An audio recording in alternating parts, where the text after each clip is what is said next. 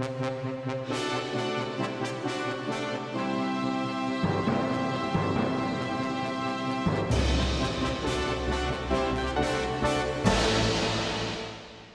a tutti, sono Padre Giovanni, sono un missionario del PIME, da otto anni, dal 2014 lavoro in Cambogia, prima ho lavorato nell'animazione missionaria in Italia, anche a Missio Giovani, con Rocco Prima, Alessandro Zappalà e sempre con Eleonora.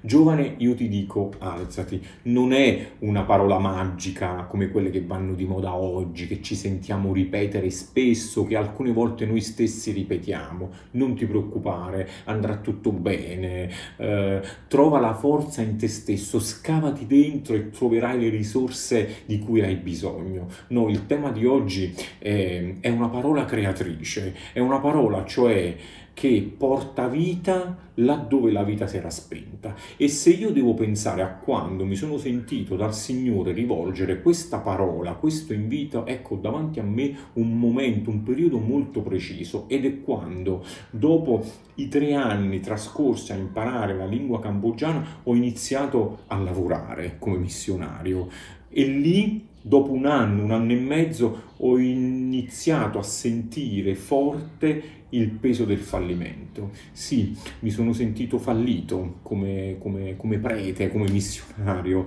E, ed è molto semplice, facile, eh, in una chiesa come quella della Cambogia vivere questa situazione eh, la Cambogia eh, è un piccolo gregge, 20.000 cattolici, e dove io sono stato assegnato dal 2018 mh, è un territorio costituito da un manipolo di cristiani, 3, 4, e quindi dopo poco, dopo eh, essere arrivato con uh, un, una quantità infinita di progetti, con un entusiasmo missionario che voleva incendiare ogni angolo del, del, del della Cambogia, ho iniziato a perdere vigore perché non avevo successo.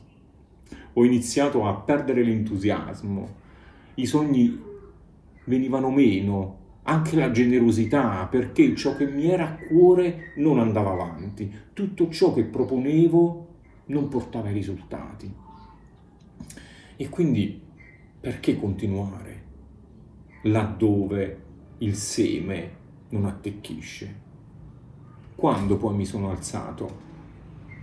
Non mi sono alzato, sono ancora qui eh, con i miei fallimenti. Tuttavia mi sono sentito rivolgere questa parola creatrice. Mi sono sentito, cioè, rivolgere da Gesù questo invito che mi diceva riscopri la consapevolezza per cui sei arrivato lì in Cambogia, che non è quello di avere successo, che non è quello di avere adepti, ma è quello di ricevere e donare vita. E ricordati che se doni vita, poi qualcuno la accoglie, sempre e comunque. Ecco, aver ascoltato questa parola ha riacceso in me il desiderio, il desiderio di andare avanti, il desiderio di, di, di, continuare in questa terra che il Signore mi ha affidato, consapevole di non essere io il protagonista, io non vi auguro di alzarvi, miei cari ragazzi, perché alzarsi presuppone cadere e cadere fa sempre male.